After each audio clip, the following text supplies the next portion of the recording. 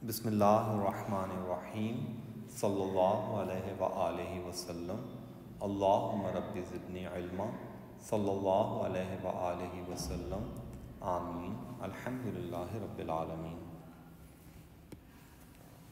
In this lecture, I will discuss the integration of this fraction 1 upon x square plus a square. An important advice for me and for everyone we must be nice to others. Integration of this fraction 1 upon x square plus a square. The coefficient of x is 1 and we have positive sign here and both the terms are in square form. And this fraction is not the application of the basic formula 1 and 2. To integrate this fraction, we use this formula. We write the reciprocal of this constant here. The reciprocal of a is 1 upon a and it should be here. And then we write tan inverse and then we write this fraction x upon a fraction of these two as an angle of tan inverse. So this is the way to integrate this type of fractions. And make sure the coefficient of x must be 1. Let's understand this formula through these examples. Example number 1.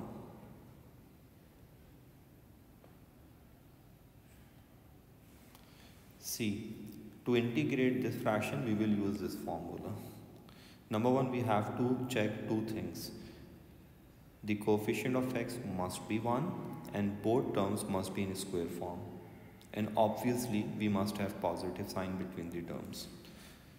Now, to integrate this fraction, we need to write reciprocal of this here. The reciprocal of 5 is 1 upon 5.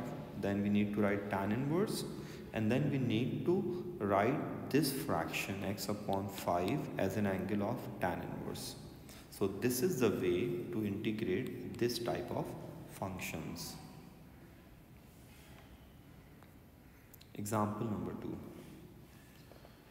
Now in this case we first need to make coefficient of x square 1 by taking this 2 common. So first take 2 common from these two. So when you will take 2 common, you'll get this thing. 1 upon 2, it's outside the integral to make the integration simple. And this will become x square when you will take 2 common and this will become 3 upon 2. Now the second step is write both terms in a square form. You can easily write this in a square form like this. But here you need to write this as under root 3 upon 2 square because in order to use this formula both the terms must be in square form. So first make the coefficient of x 1 by taking this 2 common from these two terms and then write both the terms in square form. 3 upon 2 is under root 3 upon 2 whole square. Now you can easily integrate this. First you need to write the reciprocal of this here. Then write tan inverse and then make the fraction of these two x upon under root 3 upon 2 and this should be the angle of tan inverse. This should be here. Now you just need to simplify this. First simplify this, reciprocal this, this will become under root 2 upon 3 and this will also become under root 2 upon 3 times x. That's the final answer. So while integrating or while using this formula, make sure the terms, um, I mean make sure the coefficient of x must be 1 and then both terms must be, must be in square form like this. Another example. Again we have to make the coefficient of x square 1 by taking 9 common from these two. When you will take 9 common from these two, you'll get one x square here and 16 upon 9 here and 9 is, is here.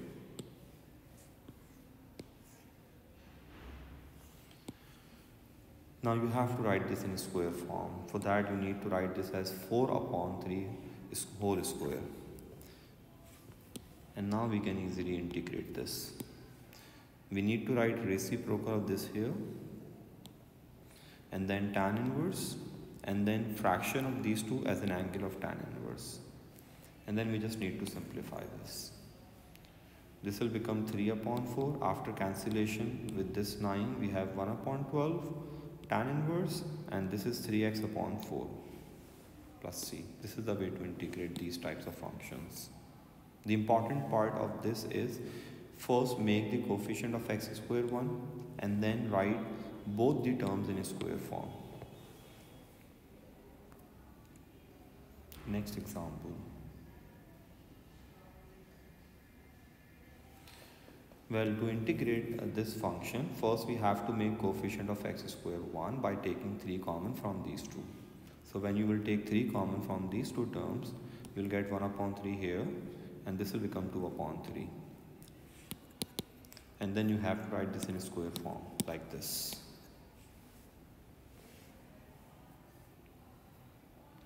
Now write the reciprocal of this here, then tan inverse, and then fraction of these two as an angle of tan inverse.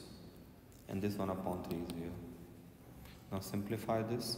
This will become under root 3 upon 2. This will become under root 3 upon 2 times x. And these are the limits. So you can apply the limit side by side.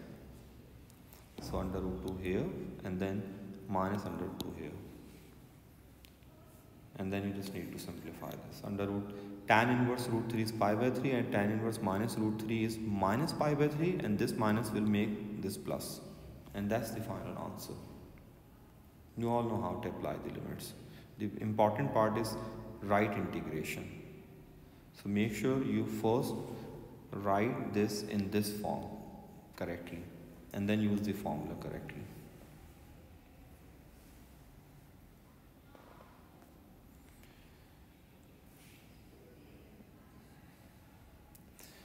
Now we have uh, done this that the formula of integration of this fraction is this.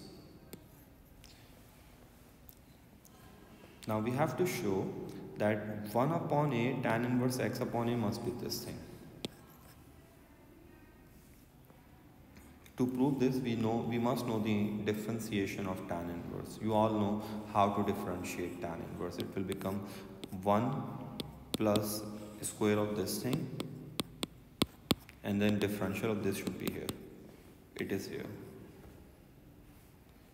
Copy this here the formula of the differentiation of tan inverse of this function is 1 upon 1 plus square of this angle and the differential of this angle should be here. When you will simplify this, you will get this thing. This 1 upon a will come here, it will become 1 upon a square. You have to simplify the denominator by taking the LCM and when you will simplify this whole fraction, you will get this thing.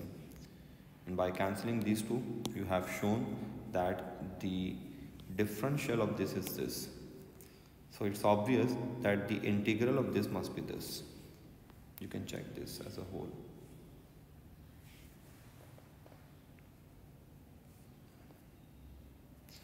Well, this is all. I hope this lecture will help you to understand how to integrate these types of fractions with the help of this formula. Good luck to everyone. Allah Hafiz.